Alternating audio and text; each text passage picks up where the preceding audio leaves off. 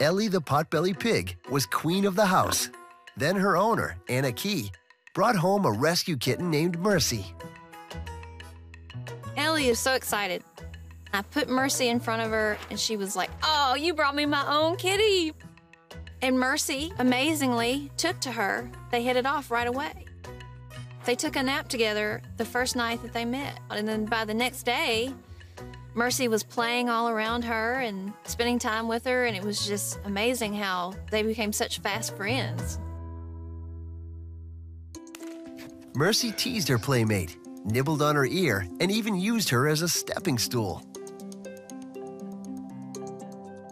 You had this young pig and this young kitten, and they're both very wild and really playful and biting. And Mercy likes to bite Ellie's ears, and Ellie loves it.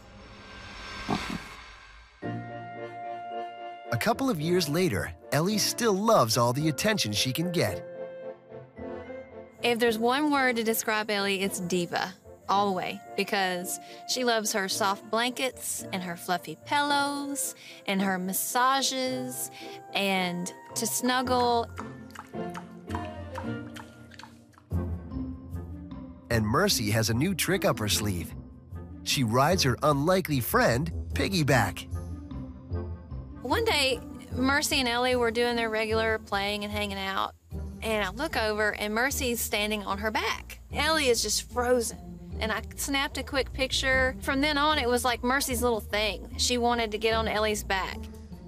If she's chasing a toy or something, she's jumping on Ellie's back. If they're sleeping together, she's laying on Ellie's back. Is that your kitty? It just became like their thing. And Ellie loves it. I mean, she takes it like almost like she's getting a hug.